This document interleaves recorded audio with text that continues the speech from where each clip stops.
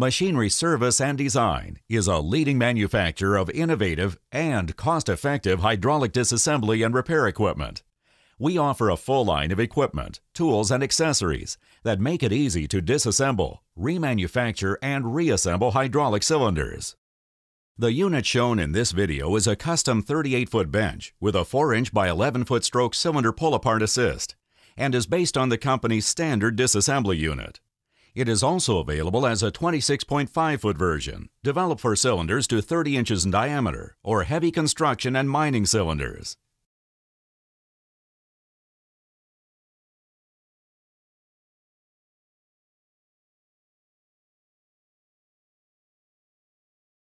The purpose of the hydraulic assist cylinder is to provide the necessary force to pull hydraulic cylinders apart, as well as to reassemble them easily and safely.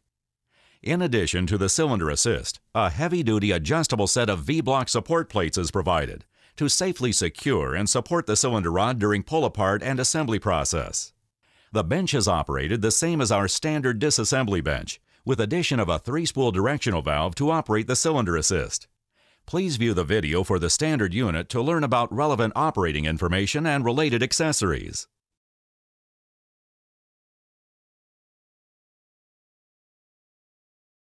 The table is designed to be bolted to the floor. The table legs are drilled for 1-inch mounting bolts. Please be sure that the table is firmly mounted before using it. We suggest Ultrabond by U.S. Anchor Company or any equivalent system to attach the 1-inch mounting bolts to the floor. The frame is designed to provide maximum rigidity, but machinery service and design cannot be held responsible for damages to the frame if the machine is operated without being attached to the floor. Use 1-inch grade 8 8 threads per inch rods cut to a 12.5 inch length. You will need one rod per hole on the disassembly table. Drill a 1-inch diameter hole in the concrete to 12.5 inches deep. Apply epoxy Ultrabond to the thread of the thread rod and be sure to fill any voids in the concrete.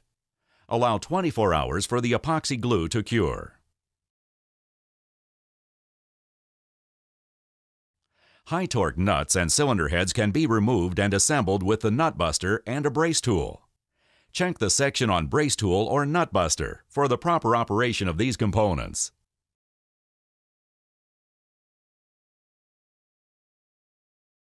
The V-block roller plate is designed to support the cylinder shaft during removal and installation of the hydraulic cylinder shaft.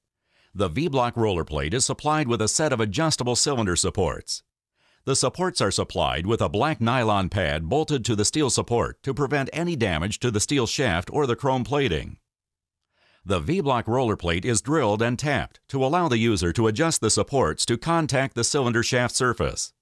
In some cases, the operator will have to move two bolts to reach the correct adjustment on the supports.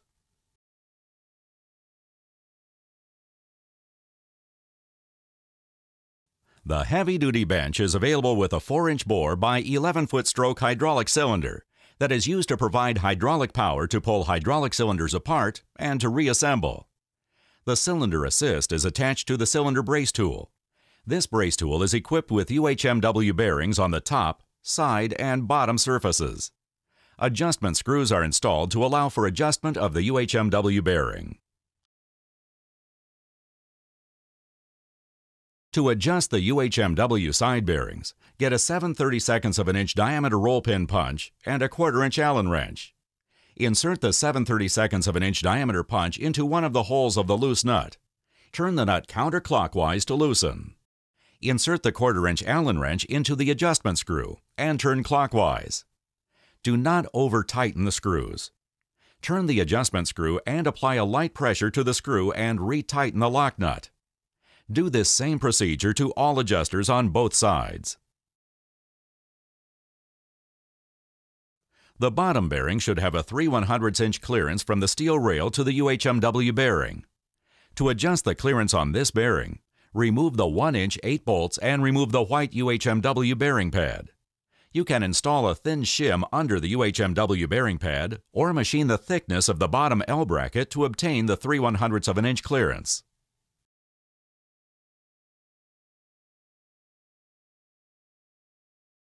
The hydraulic cylinder assist is a 4-inch bore hydraulic cylinder with 11.5 feet of stroke. This cylinder will generate 37,698 pounds of push at 3,000 psi and 22,974 pounds of pull at 3,000 psi for assembly. Always start with the main relief valve at the lowest setting and build pressure as needed.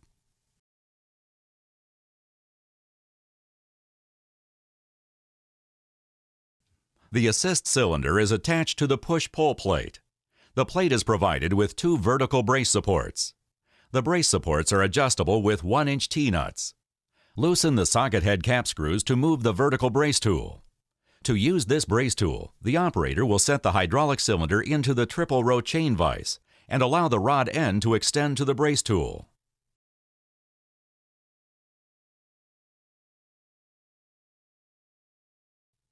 When using the triple row chain vise, be sure to use two locking pins, one pin per rail, to square and center the chain vise to the disassembly machine.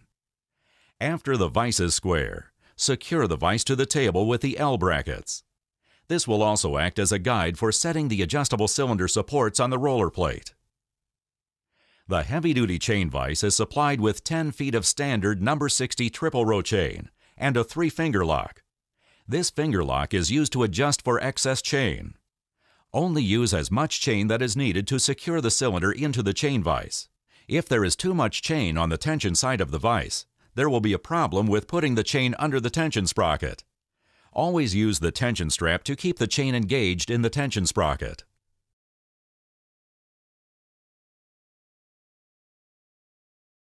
The pressure booster is an air-operated pump with pilot-operated checks.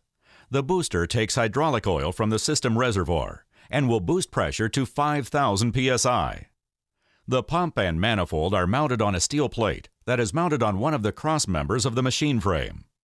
The steel plate also has a pressure relief valve to limit the pressure that the booster will generate. The air pump requires approximately 100 to 150 psi of air pressure.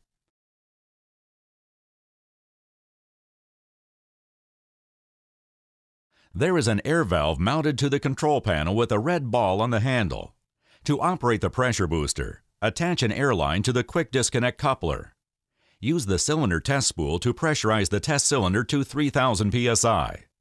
Then push the red ball forward to activate the air pump. It will only take a few pumps of the booster to take the static pressure to 5000 psi. Use the cylinder test spool to release the pressure on the A port. Then shift the spool to the B port and push the red ball to boost pressure to 5000 psi. Use the test pressure bleed down to relieve any pressure trapped in the test lines and PO checks. The relief valve will only reach 6,000 psi.